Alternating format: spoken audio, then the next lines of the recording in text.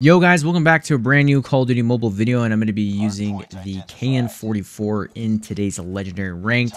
And obviously, if you guys know that, you know, like I said, Legendary Ranked has been reset, so I'm not Legendary right now. I'm currently Master 1. Well, actually, actually right as of right now, I'm currently Master 3, I'm assuming. Um, but anyways, yeah, so um, as you guys may know, the KN44 received an amazing buff. It received, you know, a second buff in the Season 7, so obviously it was buffed in Season 6, and then it was buffed again in Season 7, making it an all-around very competitive assault rifle. I also covered this in my uh, top 10 best loadouts for season 7 uh, if you watched that video when I uploaded it two days ago. So overall, a really fantastic assault rifle nonetheless. Um, it definitely does the job. It's definitely a really fun assault rifle to use. It definitely takes us back to the 2019 meta. Uh, during Call of Duty Mobile, when like the Cordite and the KN44 was released around the exact same time during like you know that cowboy seasonist uh, seasonistic, um, you know or I guess you can say season, that Cowboy season. I don't know why I'm tripping up with my words. But anyways, so I wanted to also talk about the season and give you guys my thoughts on it so far.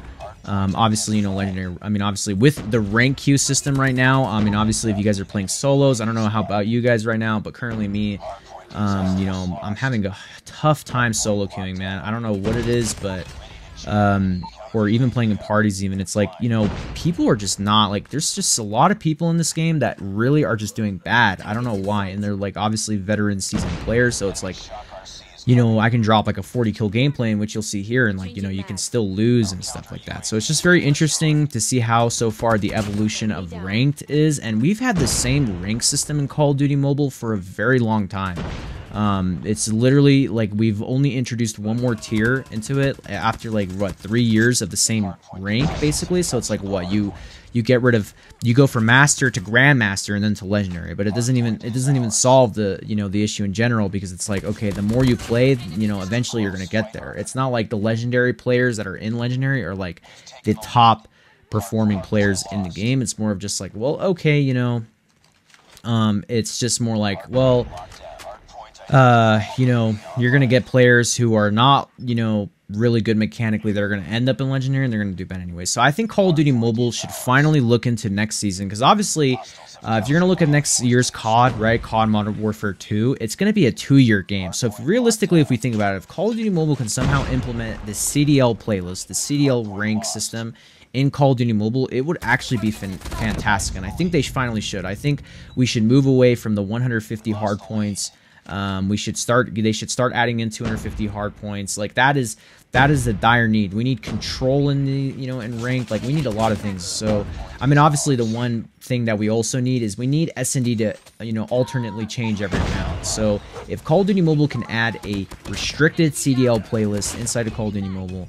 Um, I think hopefully for the next, you know, rank season or maybe when the next COD releases, hopefully, uh, the game's going to be in really good shape. The game's not going to be boring. You're not going to deal with a lot of dumb things because I, I, think right now, even though this season um, is a nice refresher, like, dude, thank God the CBR4 has been nerfed. Thank God the MAC-10 has been nerfed. So obviously, you know, some of the guns that were, you know, number one for a very long time are not going to be number one, but it's like, okay, you know, now, you know, even though that those guns were nerfed, the most annoying guns in the game were nerfed, but like you're we're still dealing with the same boring stuff, like the thermites, the dogs, like just unnecessary utility that's coming into play within the game. And I think if Call of Duty Mobile can add a different type of playlist, a different type of rank system on top of what they have already, um, or you know, like I said, change it, um, even you know, restrict it in some ways, because I think when you're playing ranked, like I said, like you're just grinding for that rank, but then after that, it's just elo based. You're just accumulating elo over and over again, basically the whole month, and you have to wait. What we have to wait 30 days just to do that again. So I think Call of Duty Mobile really needs to step up their game when it comes to the rank system. But anyways, um, obviously that was a huge rant on that. But moving on to like I guess like you know in sort of like the uh, alternate system of like I guess ranked and things like that in terms of guns. Um, so far, I really like this season. I think honestly, what would made what would have made this the perfect season is you know nerfing the KSP 45.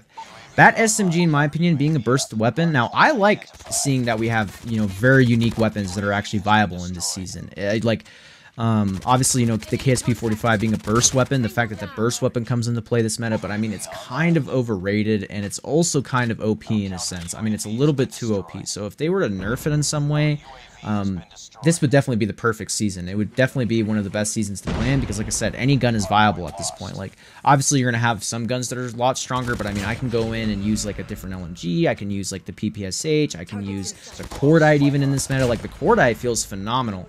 Um, and even the DRH, obviously, you know, I'm going to be playing with more weapons and things like that, and also bringing you guys like a top five list and yada yada yada. But I mean, if we're talking about overall gun usage, gun variability, and in terms of like what can we do to really bring in different types of guns into play for this season, you can actually play with a lot of different weapons, you know? So, and you can even play with non-meta weapons. Another gun that I actually made a video on in the past in season six, like a, a few a week ago, was the M4, and the M4 received a damage and a range buff, I believe. It definitely a damage buff and like some other type of buff and like that will be interesting to see. Like I have not people use, use the M4, and I made a video showing that you can actually use the M4 in some capacity. Like if you know, obviously, if you have a very, if you have really good aim and you have great positioning, and obviously, you know, being an assault rifle player and having knowledge on how to use assault rifles uh, to their specific technicality, you can actually do really well in the game with it. So I think, you know, now that we have a lot of buffed non-meta weapons, because like I said, a lot of non-meta weapons were buffed.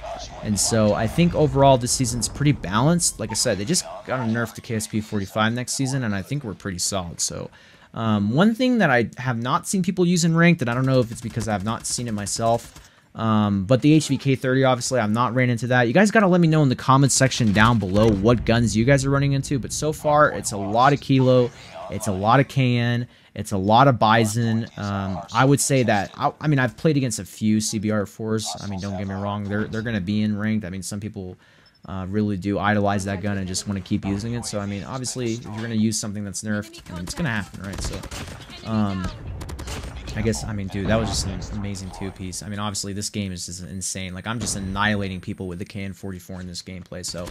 But, I mean, overall, I just kind of wanted to talk to you guys, to let you know my thoughts on the season. So, so far, this season is an 8 out of 10 for me. Um, if I were to give it a, you know, rating on a scale of 1 to 10, I mean, I would definitely give it an 8 out of 10. Um, like I said, you know, I think, um, you know, with the balance changes coming in, Call of Duty Mobile has definitely found a nice, you know, sweet spot uh, for sure on like the guns and everything, and so far on how the balances, you know, changes have been sort of getting kicked in every single month. So I think Call of Duty Mobile has done a phenomenal job there. And I think, like I said, if they just if we get another refined rank system, we get a different type of rank system added to Call of Duty Mobile that adds more restrictions, makes it more competitive. Um, the game's going to be in very good shape for another good, you know, solid like you know three to five years. I mean, I don't know how long. Like I said, you know, we we also have to keep in mind like Warzone Mobile's coming out soon, like within a year or two or three years. So it's like I don't know how long, really, realistically, people are going to play Call of Duty Mobile for. Like it's going to get way too repetitive. They're going to start adding guns that are going to be more pay to win. So it's like Right now, the direction of Call of Duty Mobile is just stagnant. They're just moving in a straight line. Um, it's just a horizontal straight line. They're not doing anything creative, but I mean, obviously, I got to tip it to them, you know. So um, they they are doing a decent job, uh, regardless of that. But anyways, like um, like I said, I mean, I hope you guys are enjoying season seven. Let me know, you know, what your guys' thoughts on season seven so far. I mean, it's definitely one of the different seasons for Call of Duty Mobile. Um, and yeah, I mean, it's just one of those things where you just got to keep playing it. Hopefully, you know, I'll let you guys know my full thoughts on it by the time, you know, I get to Legendary and things like that. And so, um, yeah, but other than that, honestly, guys, make sure to show some KN-44 uh, love in, you know, like I said, the game. Definitely make sure to use this weapon because this weapon is definitely very good. Um, it's it's it's a very good weapon, and the gunsmith build that I put up in the beginning of the video is definitely the best gunsmith build to use for it. There's no other gunsmith build that I'd recommend using for it. Um, realistically, I mean, obviously you can customize, you know, the barrel, maybe the stock. Uh, but other than that, you know, you can kind of take it into its full technicality and its very, you know, its usability and like its versatility because it's a very versatile gun. You can kind of convert it into an SMG almost, and you can do a lot of things with it. So it's that's definitely a uh, win-win assault rifle in most cases. And with the buffs, it just makes it a very awesome assault rifle to use. And um, obviously, you know, this, like I said, this game, I dropped like, what, 42 kills, 46 kills in this game. Oh my god, I, I still can't believe it I lost this game. Like, I slayed out so hard to the point where it's like, God, dang it. I mean, obviously, you know, we lost, unfortunate, 140, 150. This game was really close, but obviously, you know, I slayed out. So honestly, in my book, it was a dub anyways. But I wanted to bring you guys this gameplay because it was literally a huge slay of a gameplay to not show you guys what you guys can do with this weapon. Um, but yeah, so let me know in the comment section down below what your guys' thoughts are on the new season, the KN44. If you guys got to give it a try, let me know your thoughts on the gunsmith build that I recommended, or let definitely let me know in the comment section down below what gunsmith builds you guys are rocking with in season 7 and if you guys are new to the channel and you made it this far to the video and if you enjoyed the video hated the video please make sure to subscribe. It really helps out the channel a lot. I really appreciate the support. We're literally so close to 7000 subscribers so let's go ahead and get to it. And uh, without further ado guys i'll see you guys uh, in the next one. Peace